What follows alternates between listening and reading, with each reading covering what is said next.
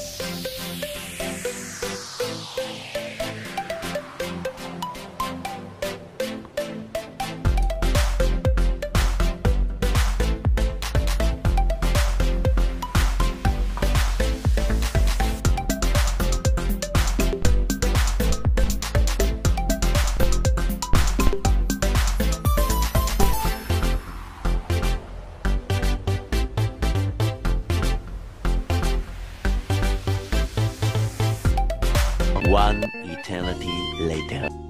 So, ayan guys. Uh, best po ito for your body, especially ngayon pong tag-init. Kasi pag tag-init po, kailangan ng more water tayo sa ating body. So, ito po, may apple po siya. Tapos, may ginger. Tapos, may dry, dry dates. And then, the, the roots, I forget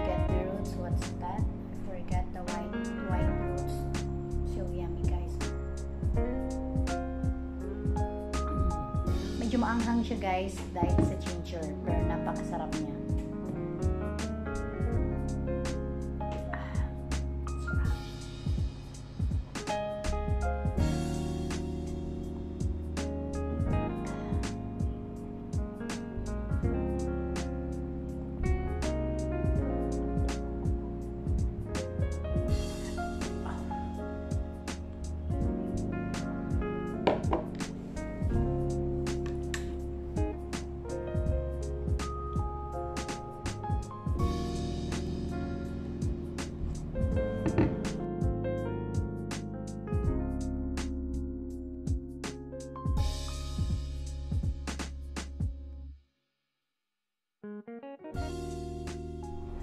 So, ayan guys, sana makagawa rin kayo ng ganito guys kasi napaka-healthy po nito sa body. Especially as what I said, na ngayong summer na napakainit po ng panahon. So, kailangan po ng body natin ng more water. Kaya eto po, try nyo po ito. Just watch watch my full video and then you can see how I make this.